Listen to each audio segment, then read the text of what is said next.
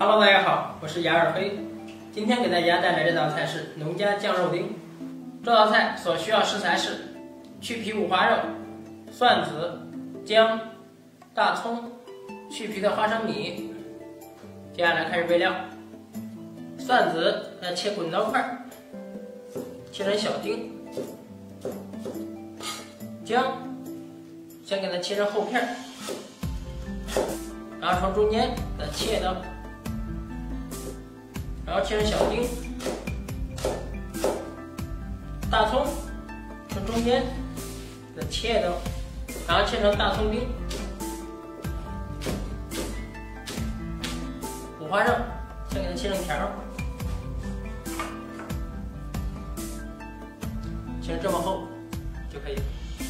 然后再从中间再一分为二，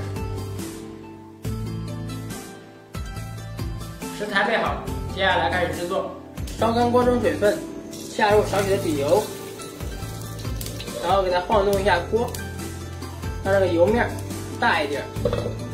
油温烧热之后，下入五花肉丁，然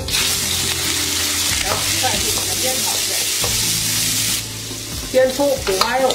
多余的油脂，给它煸香，然后放入干辣椒，煸出辣椒的香味儿。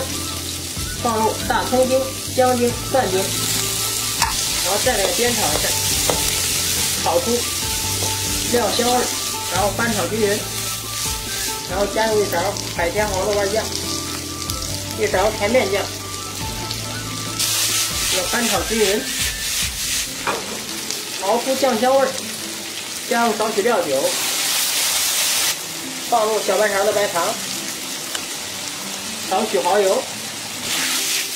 快速翻炒均匀，待调料化开，关火盛出。